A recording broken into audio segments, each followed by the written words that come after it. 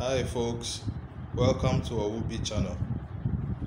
As I told you yesterday, that I'll be coming up with a configuration as in bridging two MikroTik um, network routers, okay, to make it one network. This, this is exactly what I meant. Yeah.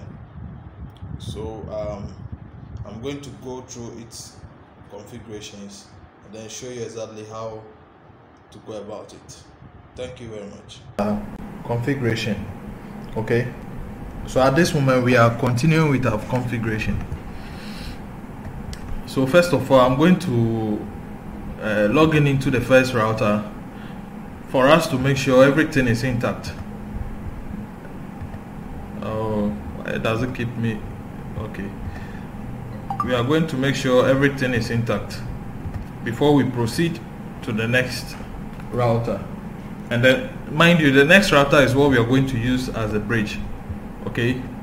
So this is the first router board.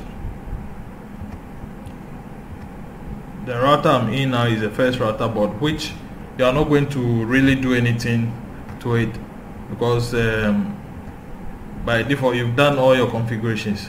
So I'm going to switch to the next router. The router I'm going to turn into a bridge um, device. Okay so I think it should log me out.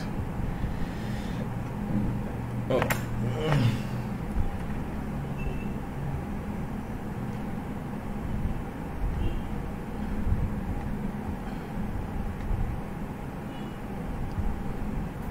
okay so this is the next router the one I'm going to turn it into bridge. So before we proceed it is very important for you to know that um, you need to do away with certain configurations in the second router board so that there, there wouldn't be any IP conflict and any misunderstanding of communication between these two routers. Because I'm not going to implement a routing protocol I'm only going to turn the second um, router into a bridge.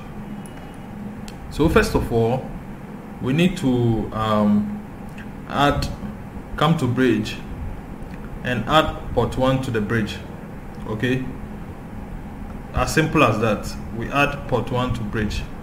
The reason is we are going to use port 1 as a port 1 is going to be the means of bringing in um, the network from the first router board. So to confirm that, let's go to our interface. If you watch on this interface, that's the ether1. There's traffic going on in there. Yes, because there's a cable connection between the first router and then this second router board. Okay, so I've added port 1 to the bridge port the next thing I have to do is to do away with DHCP server. I'm doing away with the DHCP server. The next one to do. Okay I need to go to my firewall and clear off all firewall rules except the default one. I need to come to NAT and do away with the NAT rule I need to go back to address list. I need to go back to address list and then do away with this. I need to do away with the address on the bridge. So I've done. Okay. The next thing is to come to DHCP client and also do away with this DHCP client. So I think basically I have my bridged bridged router now. Okay, for me to um, know that what I just did is right and correct, let me just reboot it and see if it's going to generate an automatic IP for me. so I'm rebooting my router. I've, I've just re rebooted my router. So let's see. If it's going to give me an IP address. Let's see. It's going to give me an IP address. Okay it has logged me out from here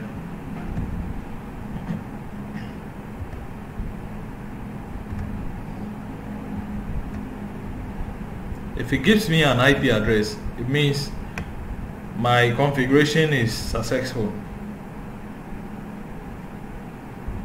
Oh bingo. It has given me an IP address. Okay. So this is it. It has given me an IP address. And I should be able to log in. Okay good. So this is it. We have these two routers here. This is the bridge router which doesn't come with any IP address. And this is the main router board. So I'm going to log in into the main router board and then we can look at our logs from there. So this is our log.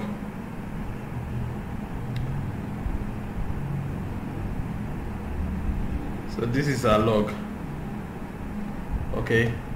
If we go to DHCP IP DHCP server. I should see it here. This is my IP 254 let me confirm. This is my IP 254 so meaning the configuration I just did is successful. So we've been able to bridge two MikroTik routers together.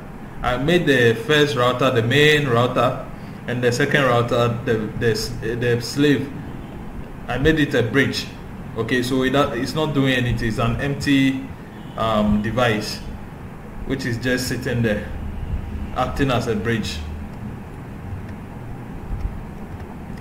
Okay so now let me see if I can be able to browse the internet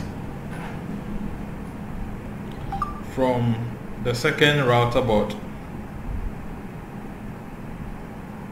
let me see if I can be able to browse from the second router board.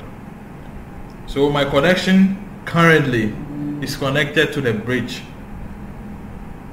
It's connected to the bridge.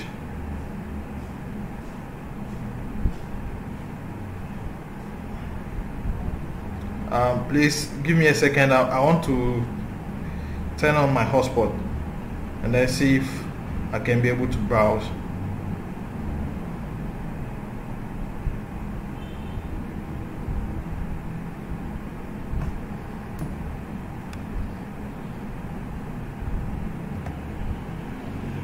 DHCP clients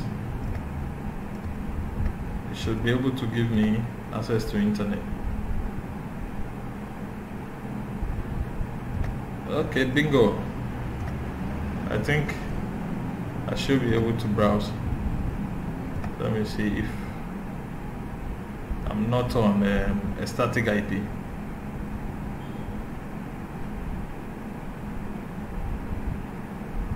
sorry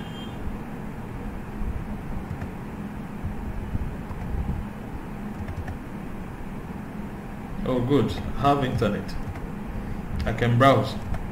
So this shows that I have internet flowing in. Okay. Now for you guys to be sure of what I just did let me open up the winbox again. This is the bridge network which is not acting as a router. It's empty. It's not doing anything the first one is the main router acting as a network I'm logging in into the second one for you to know that what I'm saying is factually true. So, this one here, sorry. Okay, so let me put here. Okay, the right one here is the main router. This is the main router, which is acting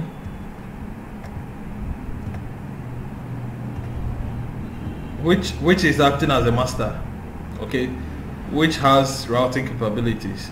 So this is the main one. And this is the bridge which is empty. It has nothing. It has nothing absolutely nothing in it. It's just acting as a as a bridge device there's nothing in it. Nothing. Nothing at all. Okay. Thank you very much for watching this video. Please subscribe to my channel. Share and like. So you can get more videos on MikroTik router board and other technology devices as well. I'll be doing more videos. This is just the beginning